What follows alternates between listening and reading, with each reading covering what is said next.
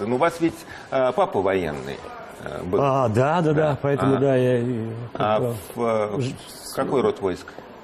А, самый распространенный на Урале это внутренние войска. Понятно, А, что ВВ? это а, Понятно, охрана да. заводов там и все такое. как бы. А мама чем, чем, э, занималась? А, Мама э, по профессии пе- педагог.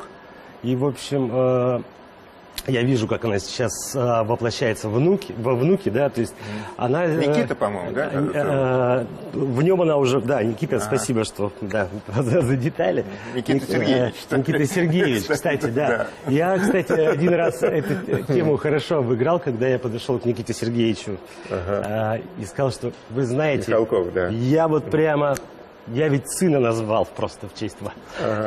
Да. Мы обменялись любезностями. Ему сколько лет? э, Сейчас 15, 16? 16, 16 уже, да? Он музыкант? А, Вот, кстати, удивительно, но больше футболист. Я, кстати, за- занимал сразу же позицию, что давать все, что все, что возможно. Как, в принципе, там поступала моя мама, которая втюхивала в меня все, что вот только просто можно, да, А, в смысле знаний, да, каких-то. А здесь Никита, при том, что он очень как бы любит музыку, все, все в порядке, он вдруг увлекся футболом, вот сам, да, и как бы это его сейчас как бы... ну, Лучше бы хоккеем. В контексте всего.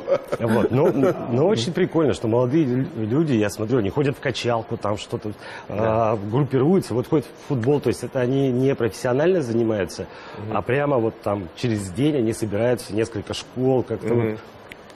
Это круто, Знаете, здорово. Не политкорректно, но без злого умысла. Иронично, но без сарказма. Пристрастно, но по-честному.